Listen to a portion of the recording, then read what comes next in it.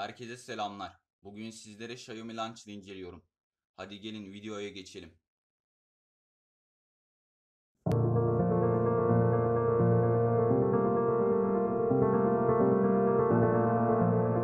İlk başta sizlere Xiaomi'nin çıkarmış olduğu Poco Launcher'ın arayüzünden bahsetmek istiyorum. Arayüz oldukça sade ve yeni Android'lerdeki gibi alttan kaydırmalı bir sistem var. Bu sistemde oldukça hızlı ve yenilikçi sayılabilir. Üstte de hangi uygulamalarımızın hangi kategoride olduğunu görmekteyiz. Araçlar, bilgi eğitim gibi kategoriler var. Bunlar da sizin uygulama kalabalığınıza göre değişecektir. Alttan da hızlı arama seçeneği de var.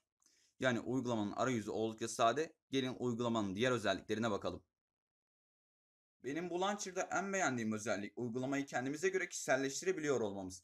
Örnek verirsem şu kutucuğa tıkladığımız zaman buradan istersek arka planları değiştirebiliyor. Arka plan ışığını değiştirebiliyoruz. Işığı kendi gözümüze göre ayarlayabiliyoruz.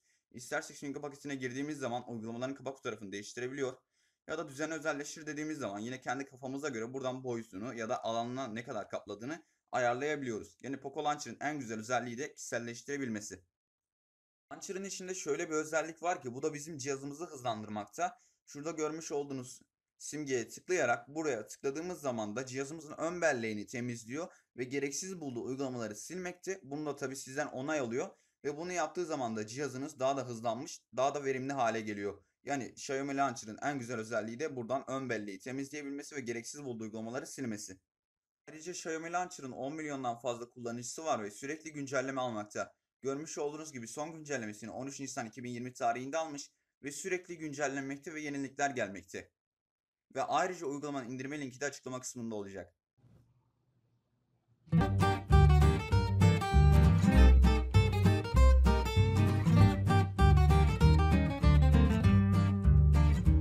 Xiaomi Launcher indirmeye gerek var mı sorusuna da şöyle bir yanıt vermek istiyorum. Launcher'lar bizim telefonumuzun arayüzünden daha farklı arayüzleri sahip ve bu da bizim cihazımızı daha verimli kullanmamızı ve günlük hayatta daha çok işimize yaramasını sağlıyor.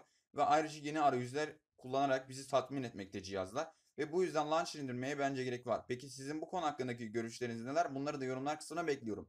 Ayrıca Xiaomi Launcher'ın indirme linki açıklama kısmında olacak. Kanalımda bu tarz teknoloji ve inceleme videoları var. Ve kanalımda daha çok bu tür videolar görmek istiyorsanız kanalıma abone olabilirsiniz ve takipte kalabilirsiniz. Görüşmek üzere bay bay.